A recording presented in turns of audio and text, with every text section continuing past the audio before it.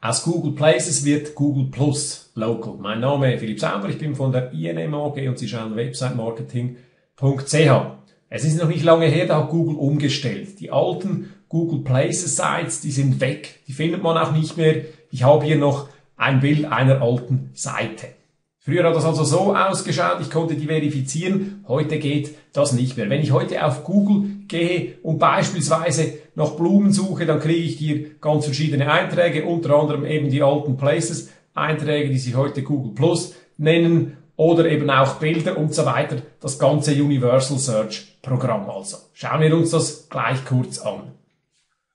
Ich habe hier nach Blumen gesucht, dann werden mir zuerst Anzeigen angezeigt. Die oberste, das ist der Flurop, das ist aber allerdings das einzige AdWord, das hier erscheint. Dann habe ich unten Wikipedia, meiner Ansicht nach auch nicht wirklich ein organisches Ranking, also gehört auch schon zum Universal-Bereich außerhalb dem Organic Ranking. Und dann kommen hier, hier unten die ganzen alten Places-Einträge und hier sieht man dann schön, die heißen hier alle Google Plus-Seiten. Wenn ich weiter runter scrolle, kommen zwei, drei normale Organic Rankings und dann als nächstes Blumenbilder, das heißt aus dem Blumenbereich raus. Gehe ich jetzt aber zurück und klicke hier beispielsweise auf diesen Eintrag hier, dann gelange ich auf diese Micro M Edmottingen, da gibt es offenbar Blumen zu kaufen, das ist hier eingetragen und ich sehe hier diesen Google Plus Eintrag. Das sieht man hier oben links.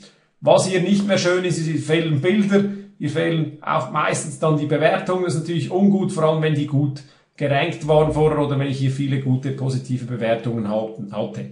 Also hier hat Google irgendwas gebastelt, sage ich mal, richtig gemercht wurde das noch nicht. Sollte eigentlich das Ziel sein, wenn ich nach Blumen Zürich suche und hier auf einen Antrag beispielsweise den Krämer hier klicke, dann sehe ich, wie das mal ausschauen könnte. Habe ich auch wieder einen Google Plus Eintrag, der hat jetzt die Bilder drin, der hat hier oben dieses größere Banner drin, ist natürlich optimal gelöst. Das schaut jetzt aus wie eine Google Plus Seite. Und er hat vor allem hier unten die Bewertungen drin, sogar noch eins mit einem Bild, sehr gute Bewertungen, immer drei von drei Punkten. Das wäre also jetzt das Ziel, dass man das erreicht.